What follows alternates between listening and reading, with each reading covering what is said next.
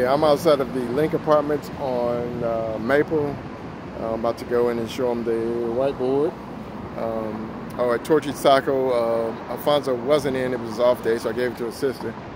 So uh, I'm gonna go in there. Uh, I'm gonna hit about three or four apartments before I get out of here. My battery's almost done, so I'll just report as I get my battery charged.